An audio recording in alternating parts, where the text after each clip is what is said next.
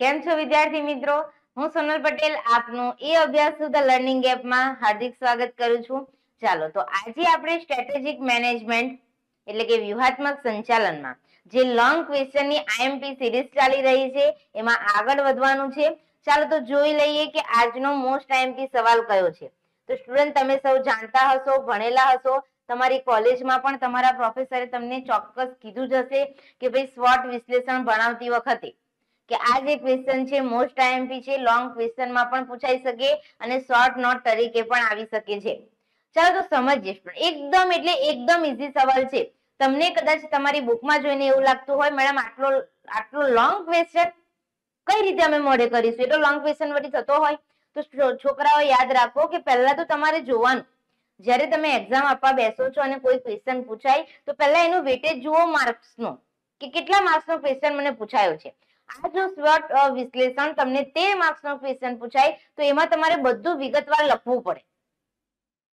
જેમ કે આંતરિક પર્યાવરણ, બાહ્ય પર્યાવરણ, ત્યાર પછી ટુ બાય ટુ મેટ્રિક્સની પદ્ધતિ છે, એની પ્રક્રિયા, એના લાભ, ગેરલાભ બધું લખવું પડે. પરંતુ માની લો કે આ SWOT વિશ્લેષણ સાત માર્ક્સનો ક્વેશ્ચન અથવા તો છ માર્ક્સનો અથવા તો શોર્ટ નોટ તરીકે પૂછાય, તો આપણામાં બુદ્ધિ હોવી જોઈએ કે મારે બધું નથી લખવાનું. એમાંથી થોડું જ લખવાનું છે, જે મહત્વનું હોય. ખ્યાલ આવે છે? બધા વિશે થોડું થોડું લખો. અમુક વાર તો શું થાય? સાત માર્ક્સ નો અથવા છ માર્ક્સ નો ક્વેશ્ચન પૂછાય શોર્ટ નોટ પૂછાય, પણ આપણને મસ્ત આવડતી હોય એટલે એ લોંગ સવાલ આપણે લખ લખ લખ લખ કરીએ અડધો કલાક સુધી. શું તમે એવું નક્કી કરેલું છે કે અડધો કલાક સુધી લખો તો આપણને પ્રોફેસર છ માંથી તેર માર્ક્સ આપી દે? આપે ખરા? ના. છ માર્ક્સ નો ક્વેશ્ચન હોય તો એમની પાસે એટલી સત્તા છે કે છ માંથી માર્ક્સ આપી શકે. એટલે યાદ રાખો, તમને જેટલા માર્ક્સ નો પૂછાયું છે, જવાબ એટલા જ માર્ક્સ નો લખવાનો. એને અનુકૂળ હોય એવો. પછી એવું નહીં કે ના મેડમ મેં તો બે સવાલ કરેલા, એમાંથી એક પૂછાઈ ગયો તો પછી લખવા દો ને. બરાબર એક વસ્તુ આખી અલગ છે. ચાલો તો સમજીએ કે આ SWOT વિશ્લેષણ છે શું?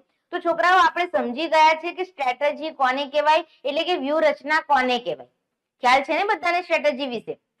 ચાલો, તો કે આ જે આપણે વ્યૂહાત્મક આયોજન કરવું હોય, તો એ વ્યૂહાત્મક આયોજનના ઘડતર માટેની કોઈ મહત્વની પદ્ધતિ હોય, તો એ છે SWOT વિશ્લેષણ, એટલે કે SWOT એનાલિસિસની પદ્ધતિ. બરાબર? અને આપણે જે સ્ટ્રેટેજી બનાવી રહ્યા છે, આપણે જે વ્યૂહરચનાનું ઘડતર કરી રહ્યા છે, એને જો આપણે સફળ કરવી હોય, આપણે જો એને સફળ બનાવવી હોય, તો ચાર વસ્તુ તમારે ધ્યાનમાં રાખવી પડે. એક તો તમારી શક્તિ, નબળાઈ, તક અને ધમકી. એટલે કે તમારા ધંધાકીય એકમની સ્ટ્રેન્થ શું છે? એટલે કે શક્તિ શું છે? તમારા ધંધાની વીકનેસ શું છે? એટલે કે નબળાઈ શું છે? તક એટલે કે કઈ કઈ ઓપોર્ચ્યુનિટી છે તમારા ધંધાની અને કઈ કઈ ધમકીઓ તમને મળે છે. એટલે પેલી ધમકી નહીં મારવા વાળી બરાબર? બજારમાં તમારા ધંધાકીય એકમની સામે બજારમાં કઈ કઈ ધમકીઓ તમને દેખાય છે. બરાબર? તો આ ચાર વસ્તુને ધ્યાનમાં રાખીને આપણે જો કોઈ સ્ટ્રેટેજી ઘડીશું, કોઈ વ્યૂહરચના બનાવીશું, તો શું થશે? તો કે આપણી પાસે જે શક્તિઓ રહેલી છે, આપણા ધંધાકીય એકમમાં જે શક્તિઓ રહેલી છે, એ શક્તિઓનો ઉપયોગ કરીને આપણે તકોનો મહત્તમ લાભ લઈ શકીશું. અને આપણને જે બજારમાં ધમકીઓ મળે છે, એ ધમકીઓને પહોંચી વળવા માટે આપણે યોગ્ય વ્યૂહરચના એટલે કે યોગ્ય સ્ટ્રેટેજી ઘડી શકીશું. ખ્યાલ આવે છે? એટલે તમારે પહેલા તો યાદ રાખવાનું કે આપણે કોઈ સ્ટ્રેટેજી ઘડવી છે, તો આપણી પાસે ચાર વસ્તુ હોવી જોઈએ. પોતાની જ વાત કરી લો ને. મેં તમને કીધું હતું કે તમારી એમકોમ સેમેસ્ટર થ્રી ની એક્ઝામ છે.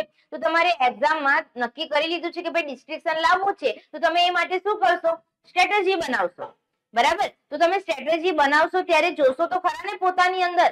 થોડું પોતાનું એનાલિસિસ તો કરશો ને કે મારી કઈ કઈ સ્ટ્રેન્થ છે, મારી કઈ કઈ વીકનેસ છે. મેં તમને લાસ્ટ વિડિયો લેક્ચરમાં પણ વાત કરી હતી કે ભાઈ એકાઉન્ટમાં મારી બહુ સારી પકડ છે, પણ થિયરીમાં મને એટલું બધું આવડતું નથી. તો એકાઉન્ટ તમારી સ્ટ્રેન્થ કહેવાય, તમારી શક્તિ કહેવાય, અને થિયરી સબ્જેક્ટ એ તમારી વીકનેસ કહેવાય. બરાબર? તો એ નબળાઈ પણ આપણે દૂર કરવાની છે. તો એવી રીતે ધંધાકીય એકમનું પણ એનાલિસિસ કરવામાં આવે, આ શક્તિઓ, નબળાઈ, તક અને ધમકી વિશે શું કરવામાં આવે? માહિતી પ્રાપ્ત કરવામાં આવે. હવે પ્રોબ્લેમ એ કે મેડમ, આ ચાર વસ્તુ વિશે માહિતી પ્રાપ્ત કરવી, પરંતુ કઈ રીતે પ્રાપ્ત કરીશું? તો એ માટે બે પર્યાવરણ ધ્યાનમાં લેવામાં આવે છે. એક તો આંતરિક પર્યાવરણ અને બીજું છે બાહ્ય પર્યાવરણ. સૌ પ્રથમ તમારે જવાબની શરૂઆત કરતી વખતે લખવાનું કે ભાઈ શક્તિઓ, નબળાઈઓ, તકો અને ધમકીઓનું વિશ્લેષણ એમાં લખવાનું કે વ્યૂહાત્મક આયોજનના ઘડતર માટેની સૌથી મહત્વની પદ્ધતિ છે SWOT એનાલિસિસની પદ્ધતિ. પછી લખવાનું કે વ્યૂહરચનાને સફળ બનાવવી હોય તો તેનું શક્તિઓ, નબળાઈઓ, તકો અને ધમકીઓને કેન્દ્રમાં રાખીને શું કરવામાં આવે? ઘડતર કરવામાં આવે તો તે સફળ પુરવાર થઈ શકે એમ છે. તો કે આ માટે સૌ પ્રથમ તો શક્તિઓ, નબળાઈ, તક અને ધમકી વિશે માહિતી પ્રાપ્ત કરવામાં આવે છે અને આ માહિતી પ્રાપ્ત કરવા માટે આંતરિક અને બાહ્ય પર્યાવરણનું વિશ્લેષણ કરવામાં આવે છે, જેને છોકરાઓ કહેવામાં આવે છે પર્યાવરણનું સ્કેનિંગ શું કરીએ આપણે? તો કે આંતરિક અને બાહ્ય પર્યાવરણનું જે વિશ્લેષણ કરીશું, એને કહેવાય પર્યાવરણનું સ્કેનિંગ તમારા એક ચેપ્ટરમાં પણ છે પર્યાવરણનું સ્કેનિંગ અને અભિગમ વાળું ખ્યાલ આવે છે? ચાલો, તો આંતરિક અને બાહ્ય પર્યાવરણનું આપણે વિશ્લેષણ કરીશું, તો એમાંથી આ ચાર પરિબળો વિશે આપણને શું મળી રહેશે? માહિતી. બરાબર? તો એ જે માહિતી મળે છે, એના માટે કોઈ મહત્વની પદ્ધતિ હોય, તો એ છે સ્વોટ એનાલિસિસની પદ્ધતિ. ચાલો, તો આપણે વન બાય વન સમજતા જઈએ સ્ટુડન્ટ કે આંતરિક પર્યાવરણમાં શું આવે અને બાહ્ય પર્યાવરણમાં શું આવે? તો અહીંયા લખેલું છે એટલે તમારે યાદ રાખવાનું છે કે ભાઈ આંતરિક પર્યાવરણનું આપણે વિશ્લેષણ કરીશું. આંતરિક પર્યાવરણ એટલે શું? તો કે આપણો જે ધંધાકીય એકમ છે, એ ધંધાકીય એકમનું જે અંદરનું માળખું છે, એટલે કે અંદરનું જે વૈદિક માળખું છે, તો એનું જે પર્યાવરણ છે એને કહેવાય આંતરિક પર્યાવરણ, કે જેના પર સંચાલકોનો અંકુશ હોય છે. અને ધંધાકીય એકમનું જે બહારનું પર્યાવરણ, જેના પર આપણો કોઈ પણ પ્રકારનો અંકુશ નથી, તો એને કહેવાય બાહ્ય પર્યાવરણ. મેં એક વ્યસન તમને ભણાવી દીધો છે, બાહ્ય પર્યાવરણના ઘટકો. તમને ખ્યાલ આવશે. ટેકનોલોજીકલ પરિબળો, સામાજિક પરિબળો, આર્થિક પરિબળો, ત્યાર પછી નિયંત્રણ લક્ષી પરિબળો, બજાર પરિબળો, પુરવઠાદારોનું પરિબળ. બરાબર? તો સ્ટુડન્ટ આ જેટલા પણ પરિબળ છે, એના પર સંચાલકોનો કોઈ અંકુશ નથી. ખ્યાલ છે આપણને? કઈ સરકાર આવશે અને એના નિર્ણયો શું હશે? સમાજમાં કેવા પરિવર્તન આવશે, એના પર તમારો કોઈ અંકુશ છે? ના, નથી. આર્થિક કયા કયા નિર્ણયો લેવાય એના પર આપણો કોઈ અંકુશ છે તો કે ના. બરાબર? એટલે બાહ્ય પર્યાવરણ એનો મતલબ કે એના પર સંચાલકોનો કોઈ પણ પ્રકારનો અંકુશ નથી. તો આંતરિક અને બાહ્ય પર્યાવરણનું વિશ્લેષણ કરવામાં આવે. તો આપણે જ્યારે ધંધાકીય એકમની અંદરના પર્યાવરણનું વિશ્લેષણ કરીશું, તો આપણને શું જાણવા મળશે? જેમ કે એક્ઝામ્પલ તરીકે તમે સ્ટુડન્ટ છો, તમે પોતાનું જ એનાલિસિસ કરો તમને શું જાણવા મળશે? તમારી પોતાની શક્તિઓ અને તમારી પોતાની નબળાઈ જાણવા મળશે. બરાબર ને? તો અહીંયા પણ સેમ એ છે કે જ્યારે ધંધાકીય એકમ પોતાનું જ એનાલિસિસ કરશે, તો એને ખબર પડશે કે મારી પાસે શક્તિઓ કઈ કઈ છે અને મારી પાસે નબળાઈઓ કઈ કઈ છે.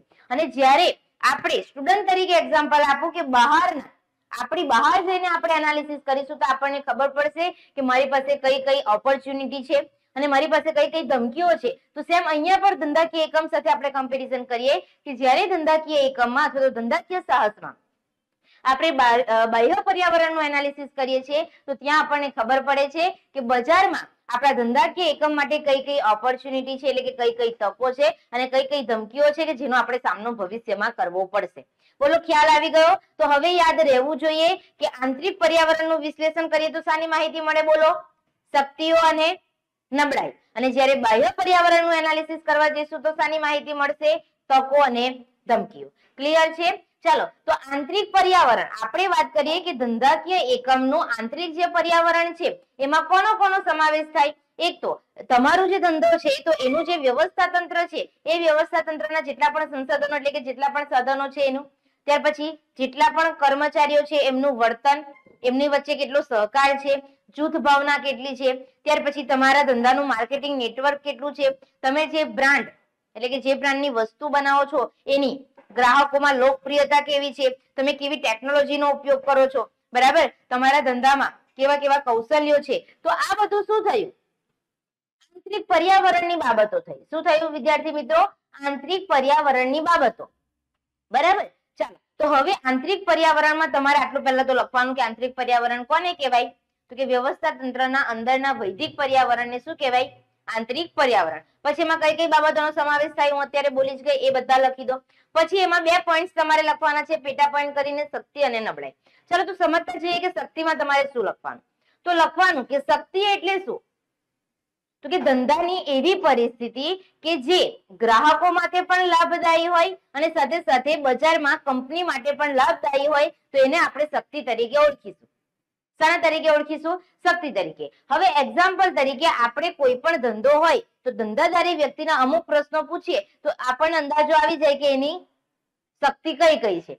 જેમ કે કોઈ પણ સ્ટુડન્ટ હોય, બરાબર, મારી પાસે કેટલા બધા સ્ટુડન્ટ આવતા હોય, તો હું દરેક સ્ટુડન્ટને મારી પાસે નક્કી હોય કે હું એને આ સવાલ પૂછીશ તો મને ખબર પડશે કે એની વીકનેસ કઈ છે અને એની સ્ટ્રેન્થ કઈ છે. ખ્યાલ આવે છે? તો એવી રીતે આપણે કોઈ ધંધા પાસે તેની શક્તિઓ જાણવી હોય છોકરાઓ, તો કયા કયા સવાલ પૂછી શકીએ? બોલો જોઈએ. બરાબર? કોઈ ઓવર સ્માર્ટ બનતું હોય કે ના ભાઈ, અમારા જેવો કોઈ ધંધો જ ના કરી શકે. તો આપણે જઈએ એમનું ઇન્ટરવ્યુ લેવા માટે. પૂછીએ. કે ભાઈ, તમારી જે વસ્તુ છે, એ હરીફો કરતા કઈ રીતે ચડિયાતી છે? તો એ આપણને આન્સર આપશે. એ એની શક્તિ છે. પછી આપણે એમને પૂછી શકીએ કે ભાઈ, તમારો જે ધંધો છે, એમાં કયા કયા કૌશલ્યો જોવા મળે છે? તો એ પણ એમની શું થઈ? એક પ્રકારની શક્તિ જ થઈ. ત્યાર પછી એ લોકો એવું કહેતા હોય કે અમારો ધંધો બધા કરતા યુનિક છે. તો આપણે એમને પૂછી શકીએ કે તમારા ધંધામાં જે યુનિકનેસ છે, એટલે કે જે અજોડપણું છે, એ કઈ બાબતના લીધે છે? તો સ્ટુડન્ટ, આ જે હું પ્રશ્નો બોલી રહી છું, એ પ્રશ્નો પૂછીને પણ આપણે ધંધાકીય એકમની શક્તિનો અંદાજ લગાવી શકીએ છીએ. ખ્યાલ આવે છે? બરાબર? તો એ શક્તિઓમાં મેડમ એક્ઝામ્પલ આપો જોઈએ કે ધંધાકીય એકમના તમે જે પ્રશ્નો પૂછ્યા, એના દ્વારા કઈ કઈ શક્તિઓ જાણવા મળે? એક તો જુઓ કે તમે જે વસ્તુ બનાવી રહ્યા છો, એ બ્રાન્ડ નેમની લોકપ્રિયતા. હરીફો કરતા તમારી બ્રાન્ડની જે વસ્તુ છે, બરાબર, એ ગ્રાહકો વધારે પડતા પસંદ કરતા હોય, તો એ તમારી શું થઈ ગઈ? શક્તિ થઈ ગઈ. ત્યાર પછી તમારા ધંધાનું માર્કેટિંગ નેટવર્ક ખૂબ જ સારું હોય, તો એ પણ તમારી શું થઈ ગઈ? શક્તિ થઈ. ત્યાર પછી તમારો ધંધો છે, તો એની નાણાકીય પરિસ્થિતિ બીજા બધા ધંધા કરતા, અથવા તો બીજા બધા તમારા હરીફો કરતા સારી હોય, તો એ પણ તમારી શું થઈ ગઈ? શક્તિ થઈ ગઈ. ખ્યાલ આવે છે? એટલે શક્તિમાં તમે સૌ પ્રથમ તો શું લખશો? શક્તિની વ્યાખ્યા. તો કે ધંધાની એવી પરિસ્થિતિ જે ગ્રાહકો માટે લાભદાયી હોય અને કંપની માટે પણ લાભદાયી હોય. પછી લખવાનું કે અમુક પ્રશ્નો પૂછવાથી કંપનીની અથવા તો ધંધાની શક્તિઓ વિશે અંદાજો લગાવી શકાય છે, હું બોલી ગઈ. અને પછી લખી દો કે કંપનીની શક્તિઓમાં કોનો કોનો સમાવેશ થાય. ત્રણ પોઈન્ટ થઈ ગયા, લખાશે. ચાલો, હવે વાત કરીએ અને છોકરાઓ ખાસ યાદ રાખજો, શક્તિને સામર્થ્ય તરીકે પણ ઓળખાય. ઓકે? ચાલો હવે જોઈએ કે નબળાઈ. નબળાઈ કોને કહેવાય? તો કે નબળાઈ એટલે કંપનીની એવી પરિસ્થિતિ, શક્તિ કરતા એકદમ ઓપોઝિટ તો કે નબળાઈ એટલે કંપનીની અથવા તો ધંધાની એવી પરિસ્થિતિ, જે ગ્રાહકો માટે શું ઊભો કરે? અસંતોષ ઊભો કરે અને કંપની માટે પણ વ્યૂહાત્મક રીતે નુકસાન કરતા હોય. બરાબર? તો એને આપણે ધંધાકીય એકમની અથવા તો કંપનીની નબળાઈ તરીકે ઓળખ, ઓળખાવી શકીએ. જેમ કે અહીંયા પણ આપણે અમુક પ્રશ્નો પૂછીશું. જો ત્રણ પોઈન્ટ બંનેમાં યાદ રાખજો. પહેલા તો એની વ્યાખ્યા પછી કયા પ્રશ્નો પૂછવાના અને શક્તિ અને નબળાઈ તરીકે કઈ કઈ વસ્તુ આવી શકે? એનો આન્સર એટલે ત્રણ ત્રણ પોઈન્ટ તમારા બંનેમાં લખશો એટલે તમારો જવાબ લોંગ થતો જશે. ચાલો, તો નબળાઈની વ્યાખ્યા મેં તમને આપી દીધી. હવે જોઈએ કે કયા કયા પ્રશ્નો પૂછવાથી આપણે નબળાઈનો અંદાજો લગાવી શકીએ. તો આપણે કહી શકીએ છીએ, એમને પ્રશ્નો પૂછી શકીએ કે ભાઈ તમારા ધંધાકીય એકમમાં અથવા તો કંપનીમાં કયા કયા કૌશલ્યનો અભાવ છે? અથવા તો તમારા કરતા તમારી વસ્તુ જે છે, એના કરતા તમારા હરીફો કઈ વધુ, વધારે સારી સેવા પૂરી પાડે છે? અથવા તો, તમે કયા ગ્રાહક જૂથનો સંતોષ સંતોષ તમે કયા ગ્રાહક જૂથનો સંતોષ પામી શકતા નથી? બરાબર? ખ્યાલ આવે છે? તો આવા તમે અવનવા પ્રશ્નો પૂછીને કોઈ પણ કંપનીની નબળાઈ જાણી શકો છો. જેમ કે એક્ઝામ્પલ તરીકે, મેડમ ચાલો પ્રશ્નો તો પૂછ્યા પણ એના આન્સરમાં શું આવી શકે? તો કે એક તો વસ્તુની તમારી ક્વોલિટી ડાઉન થઈ ગઈ હોય, એટલે કે ખરાબ ગુણવત્તા. ત્યાર પછી આપણે વાત કરીએ કે તમારી કંપની જે છે, હજુ જૂની ટેકનોલોજીનો ઉપયોગ કરતી હોય અને તમારા હરીફો આગળ ડિજિટલ ટેકનોલોજીમાં જતા રહ્યા હોય, તો એ પણ આપણી શું થઈ ગઈ? વીકનેસ થઈ ગઈ. ત્યાર પછી ધંધાકીય એકમમાં અથવા તો કંપનીના જે સંચાલકો છે, એનો અનુભવ, બરાબર? એનો અભાવ હોય એક્સપિરિયન્સ એમને એટલો બધો નહીં હોય, તો પણ એ આપણી શું થઈ ગઈ? વીકનેસ થઈ ગઈ. ત્યાર પછી જેટલા પણ કર્મચારીઓ છે, એમની વચ્ચે સહકાર નહીં જોવા મળે, પણ સંઘર્ષ જોવા મળે, તો એ પણ શું થઈ ગઈ? આપણા કંપનીની વીકનેસ થઈ ગઈ. બોલો, ખ્યાલ આવે છે? તો આંતરિક પર્યાવરણમાં આઈ હોપ તમે શક્તિઓ અને નબળાઈઓ વિશે સારી રીતે હવે લખી શકશો. ચાલો, હવે જોઈએ કે બાહ્ય પર્યાવરણ. તો સ્ટુડન્ટ, અહીંયા તમારે એક વસ્તુ લખી દેવાની કે જે આંતરિક પર્યાવરણ છે, એમાં શક્તિઓ અને નબળાઈઓ વિશે જે માહિતી પ્રાપ્ત થાય છે, એ કોના પર આધારિત છે? તો કે સંચાલકોએ ભૂતકાળમાં જે નિર્ણયો લીધા હોય છે, એના પર આધારિત છે. એટલે કે ટૂંકમાં મેં તમને પહેલા જ કીધું ને, આંતરિક પર્યાવરણ પર સંચાલકોનો અંકુશ છે. બરાબર? એટલે એમાં જરૂરી ફેરફાર આપણે કરી શકીએ છીએ. હવે વાત કરીએ બાહ્ય પર્યાવરણ તેમાં. પણ મેં તમને આગળ જ જણાવી દીધું કે બાહ્ય પર્યાવરણ એવું પર્યાવરણ છે કે જેના પર ધંધા કે એકમના સંચાલકોનો કોઈ પણ પ્રકારનો અંકુશ નથી. તમારે લખવાનું કે બાહ્ય પર્યાવરણમાં કોનો કોનો સમાવેશ થાય? તો કે સામાજિક પરિબળ. ત્યાર પછી સામાજિક પર્યાવરણ, આર્થિક પર્યાવરણ, નિયંત્રણલક્ષી પર્યાવરણ, બજાર પર્યાવરણ પુરવઠાદારોનું પર્યાવરણ, ટેકનોલોજીકલ પર્યાવરણ. તો આ બધા પર્યાવરણનો એમાં સમાવેશ થાય છે.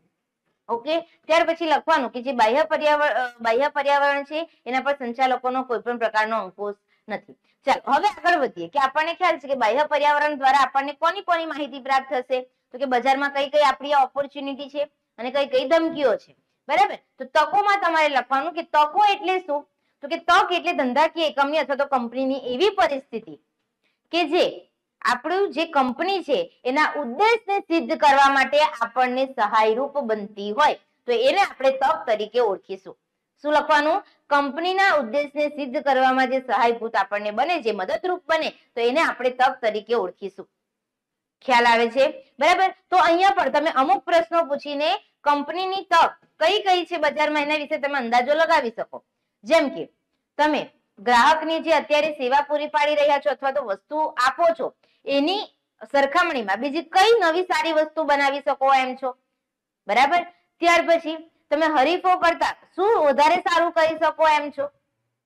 ખ્યાલ આવે છે? તો એવા ઘણા તમે અવનવા પ્રશ્નો પૂછીને બજારમાં કઈ કઈ ઓપોર્ચ્યુનિટી છે? બરાબર? એના વિશે તમે અંદાજો લગાવી શકો, ધંધાકીય એકમના અથવા તો કંપનીને પૂછી શકો કે તમે કોઈ નવી વસ્તુ બનાવી શકો એમ છો? બરાબર? જો બનાવી શકો એમ છો? બરાબર? તો એ કઈ રીતે તમે બનાવશો? બરાબર? એ હરીફો કરતા કઈ રીતે ચડિયાતી હશે? ચાલો, તો હવે આગળ વાત કરીએ કે ધમકીઓ એટલે શું? તો કે ધમકીઓ એટલે એવી પરિસ્થિતિ, એના કરતા તક કરતા ઓપોઝિટ કે ધમકીઓ એટલે એવી પરિસ્થિતિ જે કંપનીના ઉદ્દેશ્યને સિદ્ધ કરવામાં અવરોધક રૂપ હોય. ખ્યાલ આવે છે? ચાલો, તો અહીંયા પણ તમે ધમકીના જુદા જુદા ક્વેશ્ચન પૂછીને ધમકી વિશે અંદાજો લગાવી શકો છો. જેમ કે, એવી પરિસ્થિતિઓ કે જે ધંધાને શું કરે? પ્રતિકૂળ અસર કરે. જેમ કે, તમારા ધંધામાં તમારા ધંધાકીય એકમમાં કોઈ જોખમ, કોઈ રિસ્ક બન્યું છે કે કેમ? બરાબર? ત્યાર પછી બજારમાં તમારો જે ગ્રાહક જૂથ હોય, માની લો કે હું કોઈ વસ્તુનું વેચાણ કરી રહી છું, તો મારા ગ્રાહકો મારી વસ્તુ પ્રત્યે લોકપ્રિય છે, મારી વસ્તુ લોકપ્રિય છે, એટલે મારી વસ્તુ પ્રત્યે એ લોકો આકર્ષાયેલા છે. પણ શું તમારી સાથે એવું બન્યું છે કે તમારો જે ગ્રાહક જૂથ છે, એ હરીફો તરફ દોરાઈ ગયો હોય? બરાબર? તો આપણે ત્યાં કોઈ ખરીદવા નહીં આવે. તો એ શું થઈ ગઈ? આપણી ધમકી થઈ ગઈ એક જાતની. ખ્યાલ આવે છે? તો આ રીતે તમે ધમકીનો અંદાજ લગાવી શકો છો. પછી લાસ્ટમાં તમારે લખવાનું કે આપણે જાણીએ છીએ એમ, બાહ્ય પર્યાવરણ પર સંચાલકોનો અંકુશ હોતો નથી. એટલે શું કરવું પડે? તો કે એના પર કોઈ પણ પ્રકારનો અંકુશ નહીં હોવાથી ફરજિયાત તકો અને જે ધમકીઓ ઊભી થાય છે, એની સાથે ધંધાકીય એકમે અથવા તો કંપનીએ શું કરવું પડે? અનુકૂલન સાધવું પડે. તો એ અનુકૂલન સાધવા માટે અત્યારે જે વ્યૂહરચના અથવા તો સ્ટ્રેટેજી ચાલી રહી છે, કાં તો એનું.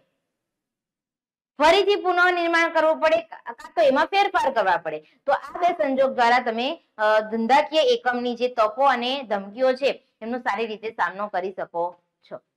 બોલો, આંતરિક પર્યાવરણ અને બાહ્ય પર્યાવરણમાં આટલું લખી શકશો? ચાલો, હવે આગળ લખીશું આપણે SWOT વિશ્લેષણની મેટ્રિક્સ પદ્ધતિ. મોસ્ટ આઈએમપી છે, સ્ટુડન્ટ યાદ રાખજો. તો કે આ મેટ્રિક્સ પદ્ધતિ શું છે? બધા અહીંયા ધ્યાન આપે. મેટ્રિક્સ પદ્ધતિ એટલે શું છે? તો કે એક કોષ્ટક બનાવવામાં આવે છે. ચાલો સ્ટુડન્ટ તો આપણી જે આ મેટ્રિક્સ પદ્ધતિ છે, એ માટેનું એક કોષ્ટક બતાવું છું. એ કોષ્ટક જોઈ લો બધા બાજુ ધ્યાન આપે.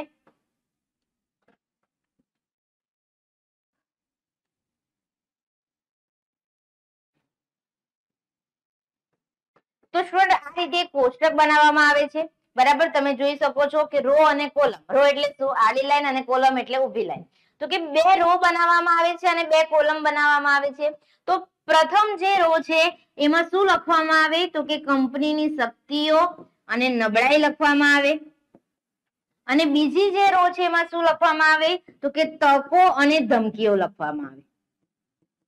તો સ્ટુડન્ટ આ રીતે જે કોષ્ટક બનાવવામાં આવે છે, એને કહેવામાં આવે છે ટુ બાય ટુ મેટ્રિક્સ પદ્ધતિ. શું કહેવામાં આવે છે? ટુ બાય ટુ મેટ્રિક્સ પદ્ધતિ તો તમારે લખવાનું કે ટુ બાય ટુ મેટ્રિક્સ પદ્ધતિમાં બે રો અને બે કોલમ બનાવવામાં આવે છે, જેમાં પ્રથમ રોમાં કંપનીની શક્તિઓ અને નબળાઈ દર્શાવવામાં આવે છે, જ્યારે બીજી રોમાં કંપનીની તકો અને ધમકીઓ દર્શાવવામાં આવે છે. એ જ રીતે કોલમમાં વાત કરવી હોય તો પ્રથમ કોલમમાં કંપનીની શક્તિઓ અને તકો દર્શાવવામાં આવે છે, જ્યારે બીજી કોલમમાં કંપનીની નબળાઈઓ અને ધમકીઓ દર્શાવવામાં આવે છે. બસ તમારે ઇન્ટ્રોડક્શનમાં આટલું લખવાનું. ક્લિયર ચાલો. ત્યાર પછી આગળ જોઈએ કે મેટ્રિક્સ પદ્ધતિ મુજબ SWOT વિશ્લેષણની પ્રક્રિયા શું છે? મેં તમને કીધું ને, કોઈ પણ વસ્તુ હોય તો એની ચોક્કસ પ્રોસેસ હોય. મેગી બનાવી હોય તો એની પણ પ્રોસેસ છે. ચા મૂકવી હોય તો એની પણ પ્રોસેસ છે. તો એવી રીતે આ ટુ બાય ટુ મેટ્રિક્સ પદ્ધતિ છે, બરાબર મેથડ છે, તો એની પણ એક પ્રોસેસ છે. ત્રણ સ્ટેપમાં એની પ્રોસેસ વહેંચાયેલી છે. કયા કયા ત્રણ સ્ટેપ તો પહેલું સ્ટેપ છે, પહેલા તો તકો અને ધમકીઓ નક્કી કરવી. તો કે તકો અને ધમકીઓ આપણે કઈ રીતે નક્કી કરીશું? તો કે આપણું જે વ્યવસ્થા તંત્ર છે, એનું બાહ્ય પર્યાવરણ જે છે, એ બાહ્ય પર્યાવરણનું વિશ્લેષણ કરીને આપણે તકો અને ધમકીઓ વિશે માહિતી પ્રાપ્ત કરીશું. પહેલા સ્ટેપમાં બીજા સ્ટેપમાં શું કરીશું? કંપનીની શક્તિઓ અને નબળાઈઓ ઓળખીશું. કઈ રીતે? તો કે કંપનીનું જે આંતરિક પર્યાવરણ છે, એ આંતરિક પર્યાવરણનું વિશ્લેષણ કરીને કંપનીની શક્તિઓ અને નબળાઈ વિશેનો અંદાજો લગાવી શકાય છે અથવા તો માહિતી પ્રાપ્ત કરી શકાય છે. ચાલો, તો બે સ્ટેપમાં આપણે તકો અને ધમકીઓ પણ જાણી લીધી અને શક્તિઓ અને નબળાઈઓ પણ જાણી લીધી. તો ત્રીજા સ્ટેપમાં હવે આપણે શું કરવાનું? તો કે તમે જુઓ, પહેલા સ્ટેપમાં તક અને ધમકી નક્કી થઈ ગઈ. બીજા સ્ટેપમાં શું કર્યું તમે? શક્તિ અને નબળાઈ નક્કી કરી લીધી. તો હવે બે સ્ટેપ થઈ જાય બાદ, થઈ ગયા બાદ તમારે શું કરવાનું છે? આ રીતે એક પોસ્ટર તૈયાર કરવાનું છે, જેમાં મેં તમને શીખવાડ્યું એ પ્રમાણે શક્તિ, નબળાઈ, તક અને ધમકી લખી નાખો. બરાબર? ચાલો, તો આપણે એક્ઝામ્પલ તરીકે મેડમ લખવું હોય તો લખીએ કે કંપનીની શક્તિઓ કઈ કઈ? તો આપણે જોઈ ગયા છે કે જેમ કે નંબર વન એક તો શું આવે? માર્કેટિંગ નેટવર્ક આવે. ત્યાર પછી બ્રાન્ડની લોકપ્રિયતા અને નાણાકીય પરિસ્થિતિ. તો આ ત્રણ વસ્તુ હું ક્યાં લખીશ છોકરાઓ? શક્તિમાં. એવું જરૂરી નથી, હા, કે દરેક કંપનીની આ જ ત્રણ શક્તિ હોય. દરેક સ્ટુડન્ટની પણ અલગ અલગ વીકનેસ અને શક્તિઓ હોય ને. એવી રીતે કંપનીની તમને જે, તમે જે પ્રશ્ન પૂછો છો અને એના દ્વારા તમને જાણવા મળે કે આ એની શક્તિ છે, તો શક્તિના ખાનામાં લખો. તમને જાણવા મળે કે આ એની વીકનેસ છે, તો વીકનેસના ખાનામાં લખો. જેમ કે આપણે જોઈએ કે નબળાઈમાં શું હોઈ શકે? એક તો વસ્તુની ખરાબ ગુણવત્તા હોઈ શકે. ત્યાર પછી સંચાલકીય અનુભવ નો અભાવ હોઈ શકે. તો લખો એ બંને. બોલો ક્લિયર છે અહીંયા? ચાલો, હવે તક કઈ કઈ હોઈ શકે? તો પહેલા આપણે લખીએ કે હરીફો, બીજા તરફ, બીજા બજાર તરફ છે. એનો મતલબ શું? કે આપણે જે વસ્તુનું ઉત્પાદન કરી રહ્યા છે અને વેચી રહ્યા છે એ વસ્તુ ગ્રાહકોને ગમે તો છે જ. પણ આપણા જે હરીફો છે એ વસ્તુ બનાવતા નથી. એ બીજી કોઈ વસ્તુ બનાવે છે. એટલે આપણે, આપણો તો રસ્તો ખુલ્લો થઈ ગયો ને, તો એ આપણી તક થઈ ગઈ. હવે ધમકી કઈ કઈ? તો કે આપણે જે વસ્તુ બનાવી રહ્યા છે એનો કાચો માલ કાચો માલ આપણે જ્યાંથી લાવીએ છીએ તે એવા ઉદ્યોગોમાં જો ઔદ્યોગિક અશાંતિ હોય બરાબર? ટ્રસ્ટી આવકમાં ઘટાડો થાય તો એ બધું શું છે? ધમકીઓ છે. તો હું અહીંયા લખું છું ઔદ્યોગિક અશાંતિ. તો સ્ટુડન્ટ, આ રીતે જ શક્તિ, નબળાઈ, તક અને ધમકીઓ વિશે માહિતી પ્રાપ્ત કર્યા બાદ એક કોષ્ટક બનાવવામાં આવે છે, ટુ બાય ટુ, બરાબર? અને બધું લખી દેવામાં આવે છે. હવે જોઈએ આગળ નંબર ત્રણ, ત્રીજા સ્ટેપમાં શું કરવાનું છે? કે શક્તિઓ અને નબળાઈઓનું તકો અને ધમકીઓના સંદર્ભમાં મૂલ્યાંકન. એનો મતલબ કે આ જે શક્તિઓ છે, આપણે કંપનીની જે શક્તિઓ છે, એનું તકોના સંદર્ભમાં મૂલ્યાંકન કરવામાં આવે અને આપણી જે વીકનેસ એટલે કે જે નબળાઈ છે, એનું ધમકીના સંદર્ભમાં મૂલ્યાંકન કરવામાં આવે. અને શક્તિઓ જે છે, એને આપણે કયો પોઈન્ટ આપીશું? પ્લસ બરાબર? આને પણ કયો પોઈન્ટ આપીશું? પ્લસ અને માઇનસ અને માઇનસ બરાબર? તો આવી રીતે ધન અને ઋણ નિશાનીઓ આપીને પછી આ જે આપણી આડી રો છે, આડી રો અને ઊભી કોલમ છે દરેકનું ટોટલ કરવામાં આવે. અને ત્યાર પછી ડિસિઝન લેવામાં આવે. શું ડિસિઝન લેવામાં આવે? કે શું આપણી પાસે તકોનો લાભ લેવા માટે પૂરતી શક્તિઓ છે? જો તકોનો લાભ લેવા માટે, એટલે કે બજારમાં આપણી પાસે ઓપોર્ચ્યુનિટી હોય અને એની, એના માટે આપણી અંદર શક્તિઓ રહેલી છે, તો શું કરવામાં આવશે? તો કે આ બંનેના સંદર્ભમાં, બંનેનો ઉપયોગ કરીને એક યોગ્ય વ્યૂહરચના કરવામાં આવશે, એક નવી સ્ટ્રેટેજી બનાવવામાં આવશે. પરંતુ જો બજારમાં જે ધમકીઓ છે, એનો સામનો કરવા માટે આપણી પાસે જે નબળાઈઓ છે, એ નબળાઈને આપણે દૂર કરી શકીએ એમ નહીં હોય.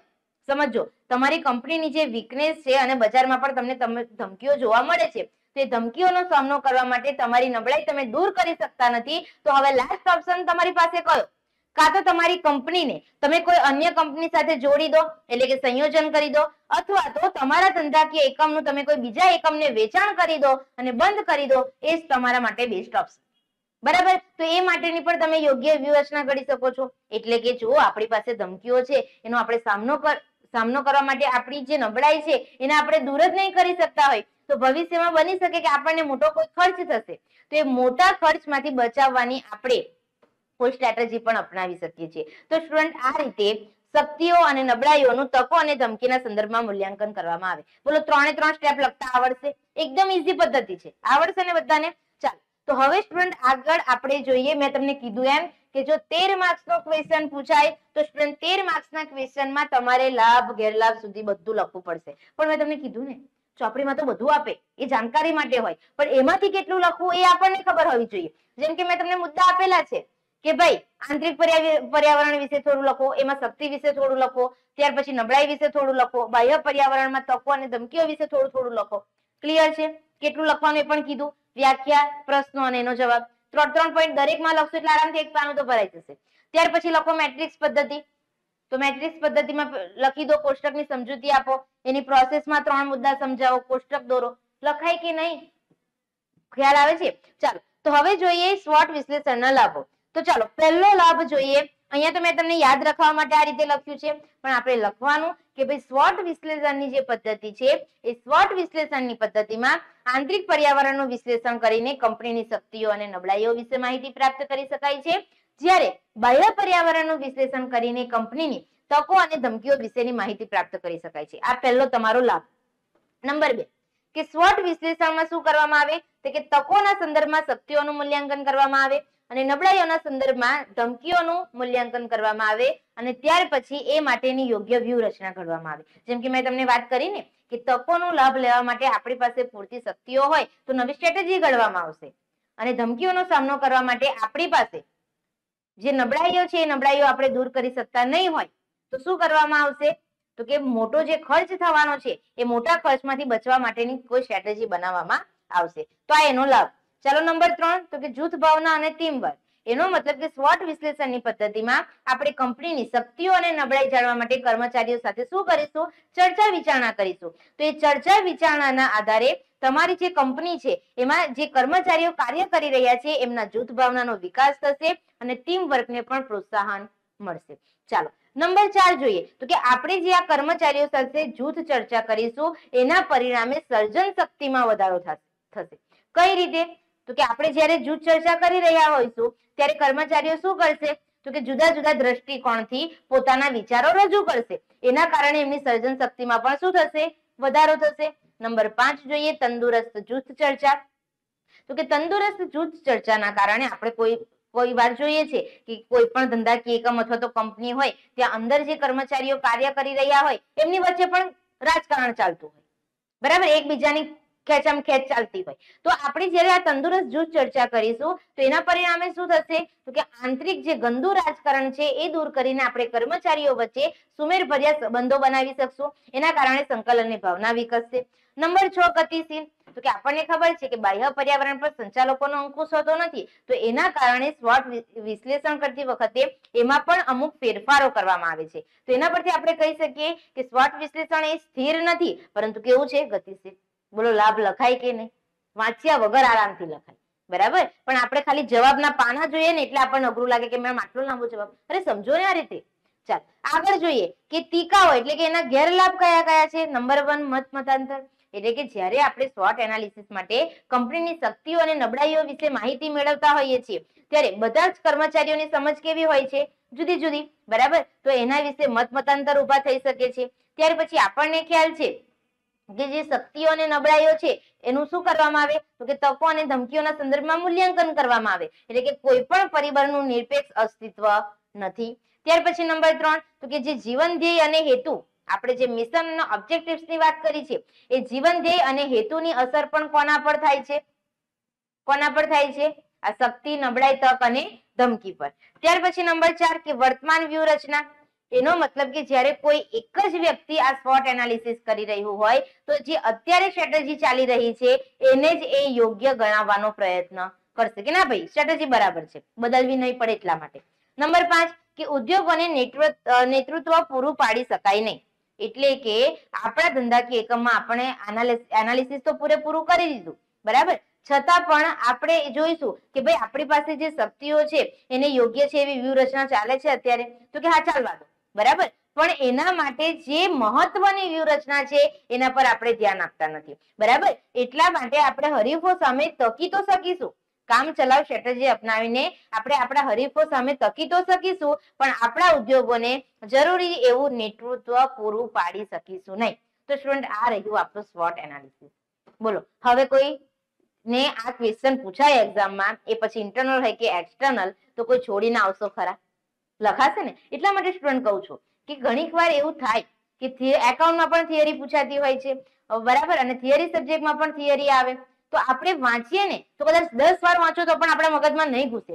પણ આ રીતે કોઈનો વીડિયો લેક્ચર તમે જોઈ લો છો, સમજૂતી મેળવી લો છો, પછી તો આપણે રાજા. પછી તો પેન આપણા હાથમાં ને. ખ્યાલ આવે છે? એટલે કોન્સેપ્ટ ક્લિયર કરો. અને એના આધારે હજુ પણ કહું છું ફાઇનલ યર છે, બધાનું રિઝલ્ટ આપણે સારું લાવવાનું છે. ચાલો તો વિદ્યાર્થી મિત્રો, આજનો વીડિયો લેક્ચર હું અહીંયા કમ્પ્લીટ કરું છું. નેક્સ્ટ વીડિયો લેક્ચરમાં નવા સવાલ સાથે ફરીથી મળીએ. Thank you